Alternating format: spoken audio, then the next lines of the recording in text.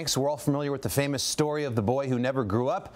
But how did Peter Pan become Peter Pan? That's the premise of the new movie Pan as the orphan travels to Neverland and discovers his destiny with help from a friend, at least for now, James Hook. Take a look. At least you know where you come from. Born to a warrior, heir to a prince.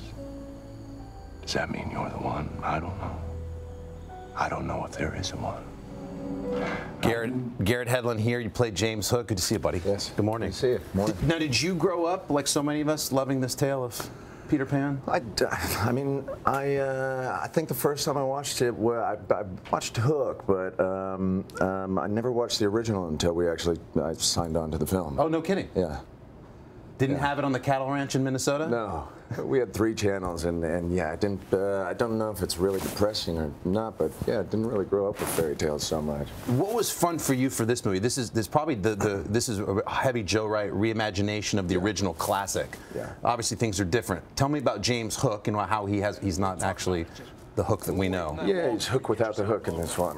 Um, um, it's it's an origin story. It's a wonderful story written by uh, uh, Jason Fuchs, and the script was just wonderful when I read it. And obviously with Joe Wright, who's who's uh, one of the best directors in the world, directing it. it, it I was just so excited to see how this would go down. Um, um, it starts off with Peter in an orphanage, and, and he's kidnapped and whisked away to these mines in Neverland to be a slave for Blackbeard, and that's where you meet Hook for the first time. He's been a slave, and, and sort of this deflated version, and he meets Peter and, and sees this boy who eventually flies, and he thinks he's always been able to do it, and he finds his, he sees what he thinks is his golden ticket off this island, and, and they act as allies and try and overcome their obstacles You to, to get home. You think of Hook, we think of the pirate garb and the mustache and the hat, but you've got more of a cowboy twist as James Hook. Well, uh, when I first met with uh, Joe Wright, he said, um, you know, we're doing a sort of a new flip on Blackbeard. We're doing a new